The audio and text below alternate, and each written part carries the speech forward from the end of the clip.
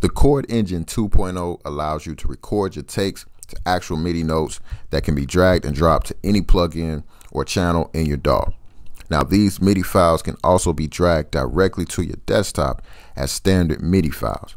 Now this can eliminate the need to edit MIDI and easily get your ideas to the sounds and the plugins that you love. To do this, you simply tab over to the record to MIDI section of the plugin and hit record. Now you can record any series of chords pressing one key for as long as you need. Then you simply hit the record button a second time to end the recording.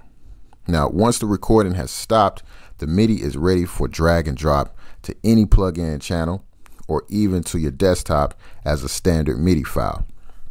Remember to give the file a name if you're placing the file directly on the desktop or directly onto your CPU. Click and record a third time will erase your last recording and begin a new one. Now the recorder will record your MIDI exactly the way you played it. So if you want the MIDI quantized, be sure to use your click track or metronome as you play out your ideas. Now, of course, you can further edit your MIDI once you have dragged and dropped it to anywhere you need it.